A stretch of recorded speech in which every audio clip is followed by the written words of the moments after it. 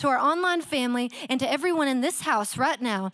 Lord, I ask you in the name of Jesus that you would visit them in the middle of the night. Lord, that you would interrupt their schedules right now to every heart that is receiving an open God. That you would interrupt every schedule in the room with encounters of your love, with encounters of your grace. Lord, with, uh, with, with moments where their eyes lock with your eyes and they're never the same and they experience and encounter your unfailing love and your eyes of tenderness, Lord, that change us forever. Lord, I release in the place right now an impartation of the knowledge of grace that you have given to all mankind that freely accepts your gift. Lord, the real gospel, the real gospel of love, the power of the blood of Jesus right now, Lord. I ask for every person in this room and online to be able to encounter and experience the love of Jesus like they never have before, and they would be so in love with you that it would be like falling in love all over again on steroids, that it would be massive, God,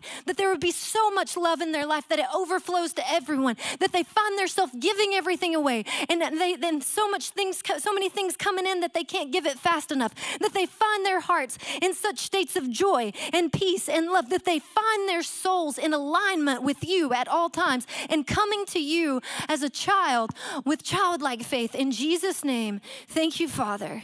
Amen. Thank you, Lord. Thank you, Lord.